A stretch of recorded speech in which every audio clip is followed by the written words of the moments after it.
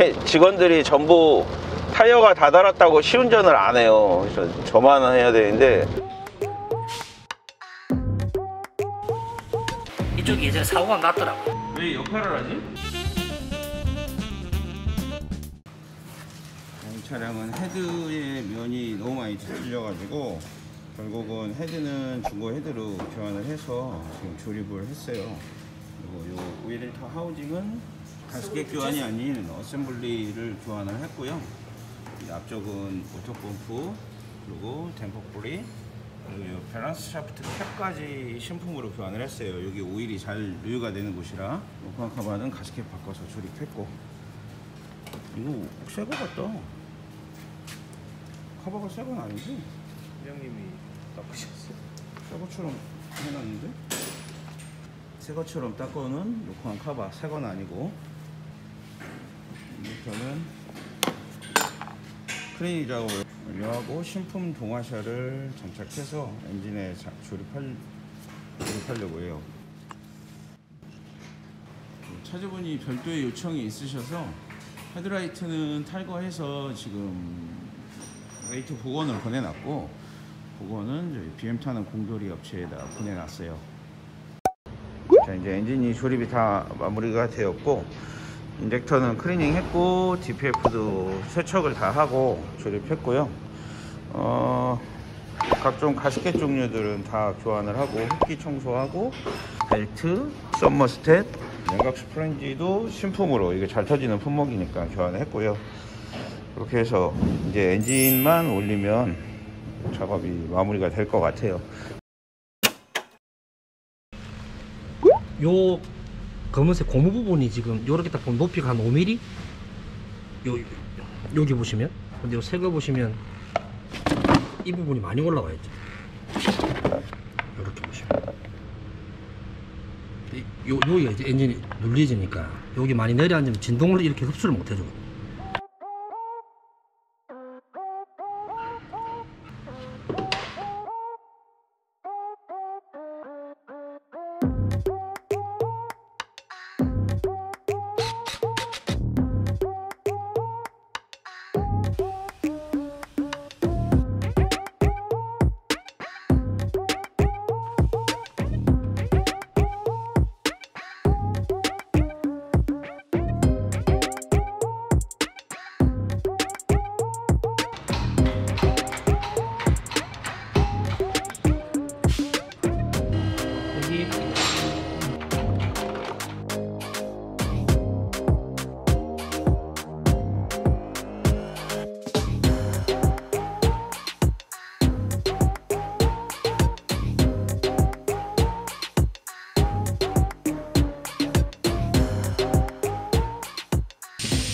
여기 미션 올땐 잘안 새는 타입인데 이 차가 그냥 8년 동안 엔진이 계속 오바이트를 하면서 열을 전체적으로 많이 먹어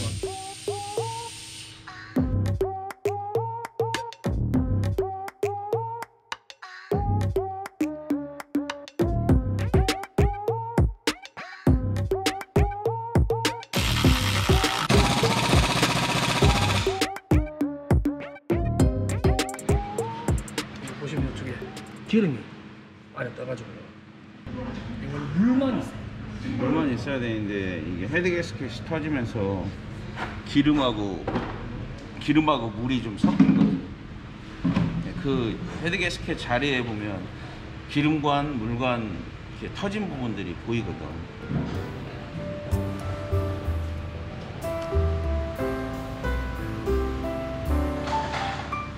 싹, 싹 이렇게 수리하면 또 한동안 문제 없이 또 타지.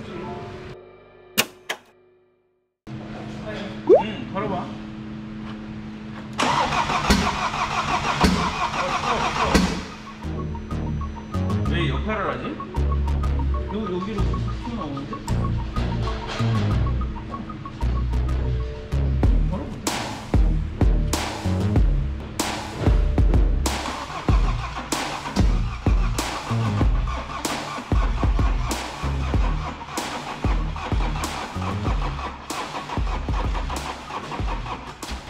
이게 왜 이러지? 타이밍은 맞았고 네. 뭐가 걸리는 것처럼 들어가니까 들어간 것처럼? 물이 들어가거나 그런 느낌처럼?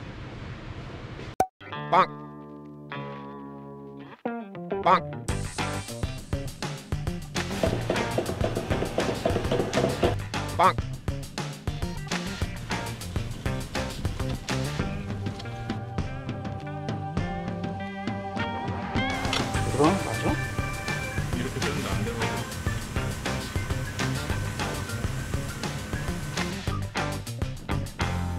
다 들어간 거잖아 이거. 여기 맞잖아 이거. 그치?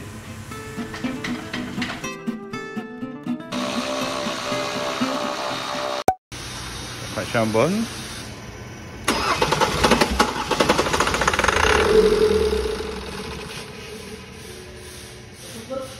어, 어 걸어봐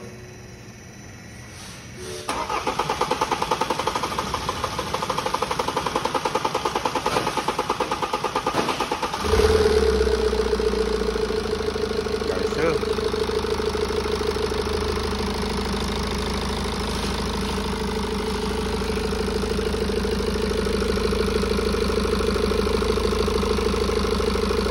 자, 일단 무사히 시동은 걸렸고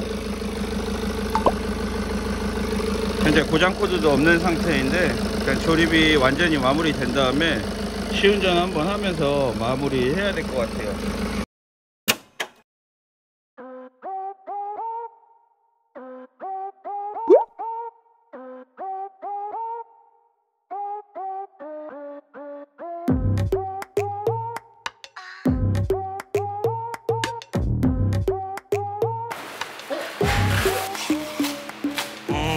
보니까 지금 사용감이 있는 거니까 기존에 들어있던 거 불은 들어오니까 같이 그 동봉에서 넣어줬네 비행타는 공놀이에서.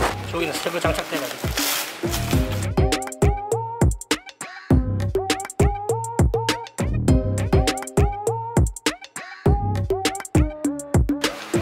요런 거 볼트 길이 좋지. 이게 뭐냐면 가끔 이제 정비공장에서 이 범퍼 때문에 이게 볼트가 여러 개 나오는데 긴 게 있거든요. 긴 거를 만약에 잠궈 버리면 여기를 통과해서 이 하우징을 딱 누르면 케이스가 딱 깨져 버려. 여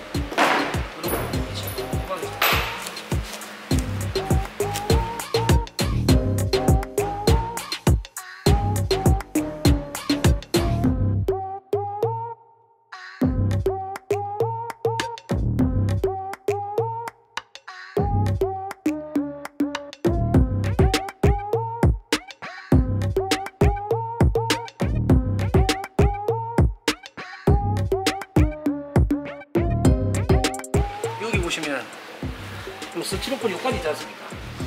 요 보시면 요 500원가 없죠? 여기가 사고가 나면서 안에 내부도 손상된 부분이 여기 칠도 날려가 있고 이쪽이 예전에 사고가 났더라고요. 원래 없었는데 그 브라켓 부분을 저 곰돌이 친구가 살려준 것 같아요.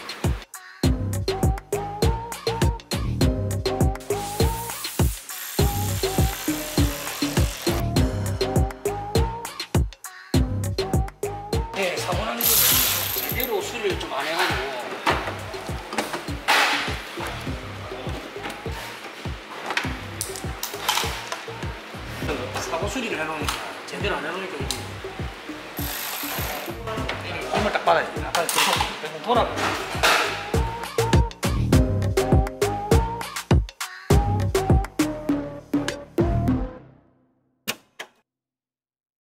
이 520D 작업이 이제 마무리가 되었고 시운전을 좀 해야 되는데 이게 비가 좀 오네요 비가 오는데 아, 이 타이어가 지금 다 다른 상태라 살살살살살살 운행을 해야 될 것 같아요.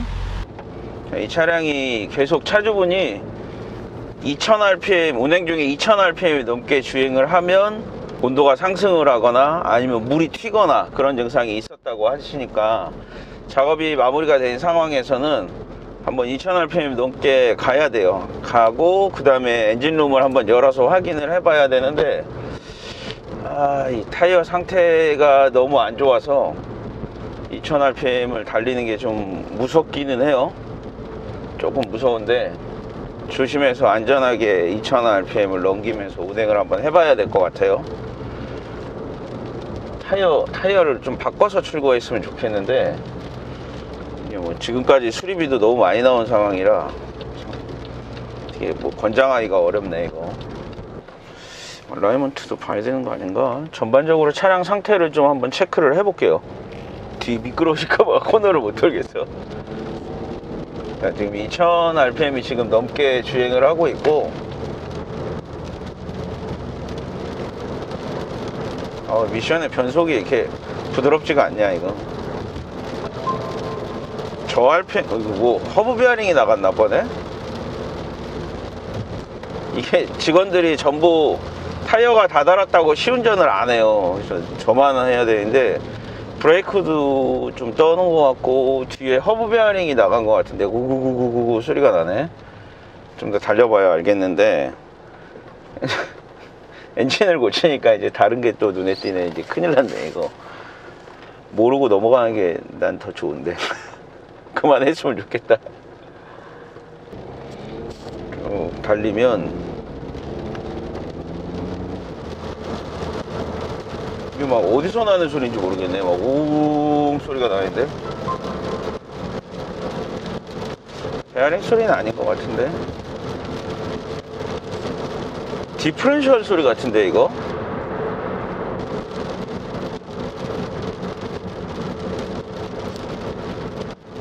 방향을 약간 틀면 나는 것 같은데.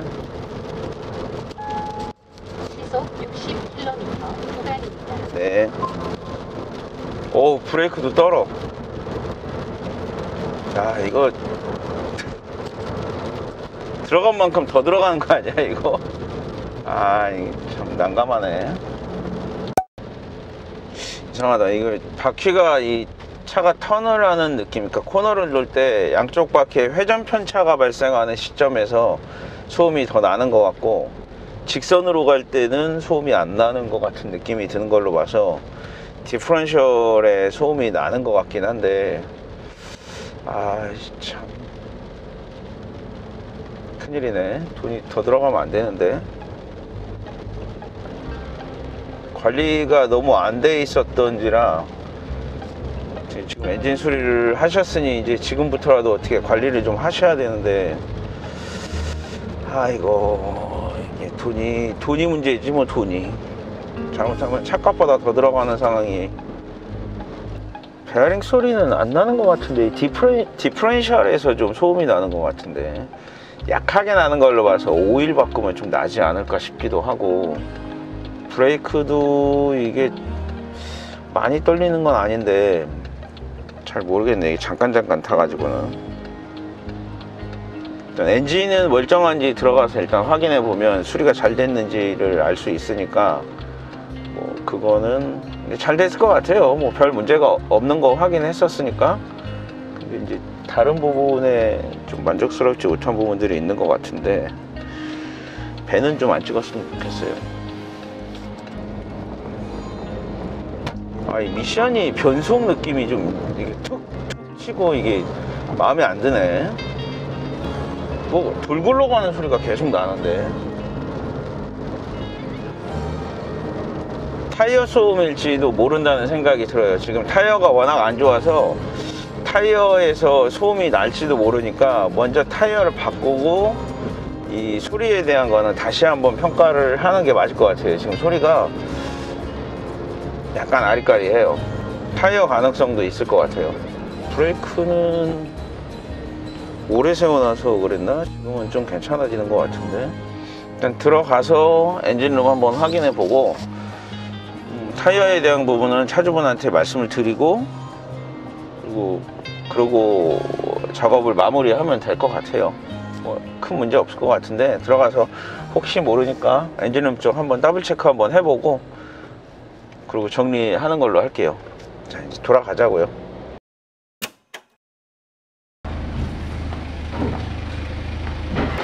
엔진룸을 열고 마지막 점검을 해보면 오, 전혀 지금 물이 튀거나 그러는 적이 안 보여요 일단 작업은 엔진 쪽의 작업은 다 잘 된 것 같고 일단은 가장 중요한 게이 타이어 먼저 교환하시면 운행하시는데 큰 문제 없을 것 같아요. 작업 잘 완료됐어요. 시청해주셔서 감사합니다. 끝. 이거 배선이 까지게 생겼어. 이게 좀 오래된 것 같긴 한데 네. 요거 좀 감아서 네. 이 airflow 선 끊어지면 안 되니까 간섭 맞나? 이게 이게 아마 여기에 가- 여기에 간섭돼 가지고 그랬을 거야. 요것만 정리하고 출고하자고. 네, 알겠습니다.